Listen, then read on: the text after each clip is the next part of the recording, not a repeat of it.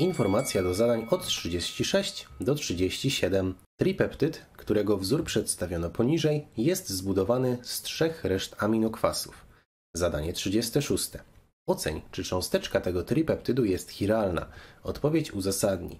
Generalnie warto pamiętać, że każdy tripeptyd składa się z alfa-aminokwasów, a jeżeli jest to alfa-aminokwas inny niż glicyna, to jest jednoznaczne z tym, że musi posiadać jeden chiralny atom węgla.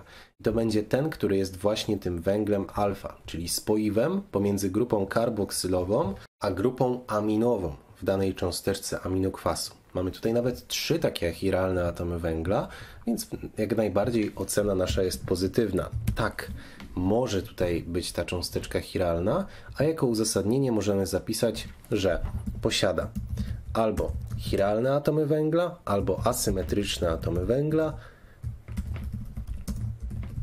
albo jeszcze możemy zapisać, że posiada centrum stereogeniczne. Tyle wystarczyło zapisać, aby otrzymać pełen punkt za zadanie 36.